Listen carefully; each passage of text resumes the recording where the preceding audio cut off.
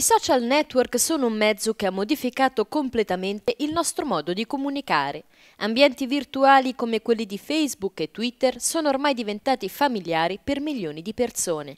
Ma esistono delle potenzialità educative e formative in questi strumenti? Se lo sono chiesti la sede retina dell'Università di Siena, l'Ateneo Pisano e la Scuola Superiore Sant'Anna. Un progetto finanziato dalla Regione Toscana sta indagando proprio su questo campo.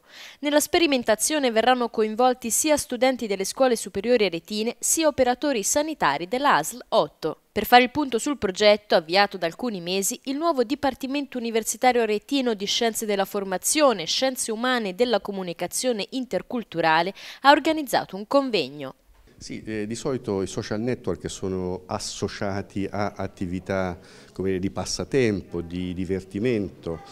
In realtà eh, il progetto Sonna che noi stiamo realizzando eh, vuole dimostrare che questi strumenti, o meglio l'uso di questi strumenti può essere particolarmente utile anche per attività serie, diciamo noi, cioè per apprendimenti in ambito scolastico, in ambito lavorativo, in particolare per quanto riguarda la scuola, la nostra sperimentazione eh, avrà per oggetto temi di, eh, legati alla cittadinanza, imparare la Costituzione attraverso i social network, eh, soffermarsi o approfondire temi di bioetica appunto attraverso questo tipo di strumentazione, mentre in ambito lavorativo l'uso eh, dei social media dovrebbe riguardare in particolare le conoscenze che maturano all'interno delle comunità professionali, dei gruppi professionali.